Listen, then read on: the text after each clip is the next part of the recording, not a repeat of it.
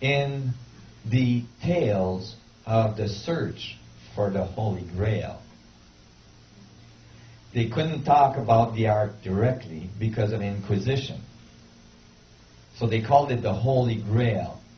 And in the first edition of that story, they call it a crystal stone.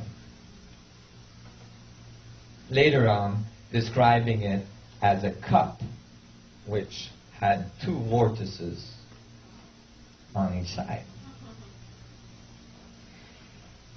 And so they went across all the countries they need to go across to go to Jerusalem. They fought their way through all the way, generating huge amount of uh, difficulties. And eventually got to Jerusalem and took over the ancient city of Jerusalem.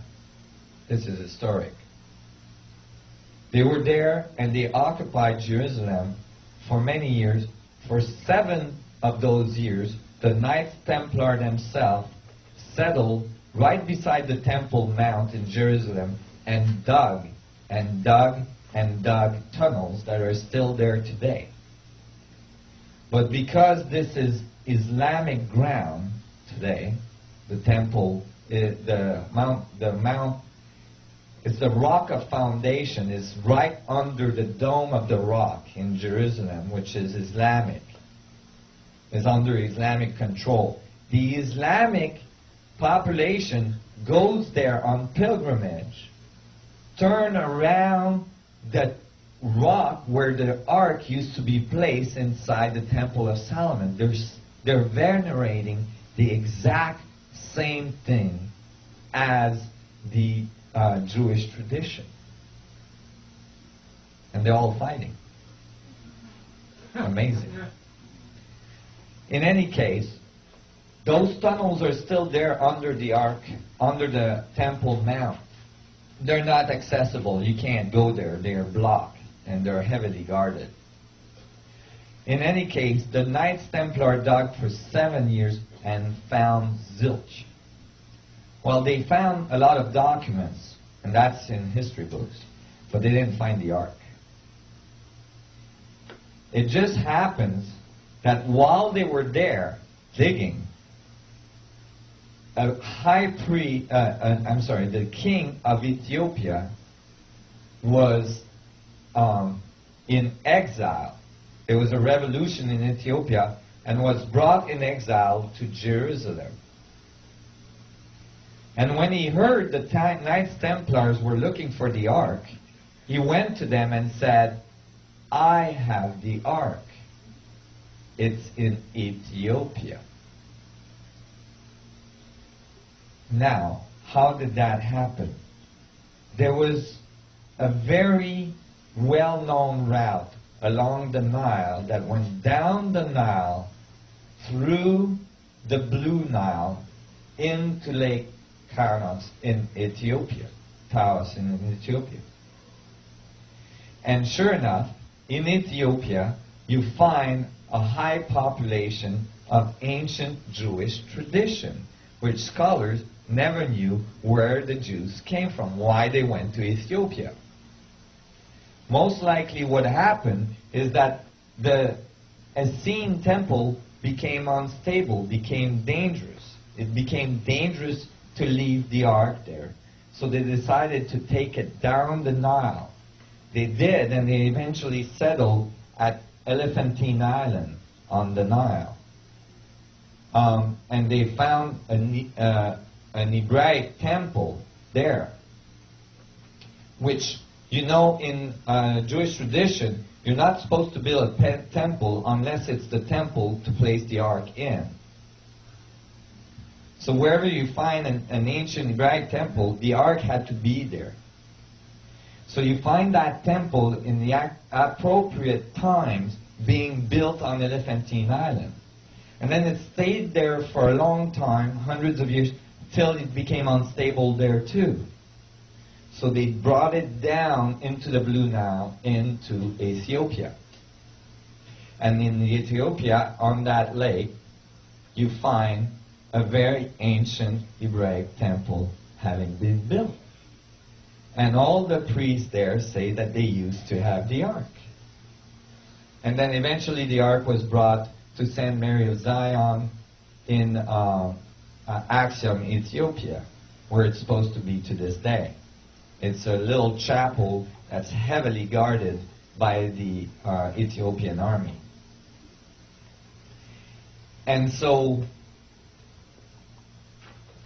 the Knights Templar actually went down the Nile, and what they did is they made a deal with that king. That king actually is the father of the Rastafarian tradition. That's how deep this goes. The Rastafarian tradition is actually directly linked to the history of the Ark. And if you talk to Rastafarians that are really uh, scholarly involved, they will tell you that the Ark is the center of their uh, worship. So the Knights Templar, isn't this amazing? The Knights Templar went down the Nile with that king, and because they had the control over the European armies, said, We'll give you back your country. That's not a big problem for us. We've got guns. They have, you know, arrows and lances. And so they brought, they went down the Nile. Actually, they have quite guns at the time, but they had more advanced technology than the Africans. And um, they give, they fought for that king's country, and in exchange, the king give them access to the ark. And there, in Ethiopia, you find ancient traditions that talk about blonde hair, blue, uh, blonde hair, blue-eyed people, Europeans coming uh, in, during those years, liberating the country, and building all sorts of things. Now, when um, when you find these things they built, you know they didn't build this with conventional means. Because when you find the things they built in Ethiopia, you find that those are churches. One of them is a church that's a big Knights Templar cross type of structure that is not built, actually, it's cut into the stone, like laser cut into the stone. And then it's cut inside it and then emptied out. This huge chapel. Right? Um, you know, basically cut, like sculpted right out of the stone. Only one person has been able to make, to interview um, the guardian of the ark, the guardian of the ark today. One priest in Ethiopia is chosen to guard the ark, and he has to be pure of heart. And when he's chosen to guard the ark, he never leaves the chapel where the ark is. From that moment on, he stays there for the rest of his life. That high priest gave one interview, and he gave it to Graham Hancock, and it's in the book, The Sign and the Seal. And in the interview, Graham says, What is the power of the ark? And the high priest, well, first of all, he says, What was it the how was it the first time you went in front of the ark? And the high priest said, it was terrifying. And Graham Hancock says, why? And he said, because the ark is an object of fire. That means it radiates. And then he said, what's the power of the ark? And the high priest pointed across from the chapel in Ethiopia. And across from that chapel in Ethiopia are huge pillars, some of them 500 tons pillars of granite that were erected, just like Egyptian obelisks. And he said, this was not done with the power of man. This was brought here with the power of the ark. So he actually says directly to Graham Hancock that the ark has gravitational capabilities. Go ahead. Um, what do you think is Interestingly, when they arrived in Europe, the first thing they did is that they built. You see, all of a sudden they became builders. You know, out of nowhere, out of nowhere, all of a sudden they could build amazing structures.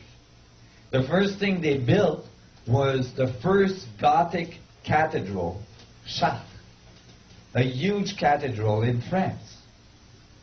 Now that cathedral has been examined by many engineers, and all the engineers agree that thing is not reproducible with current technological advancements.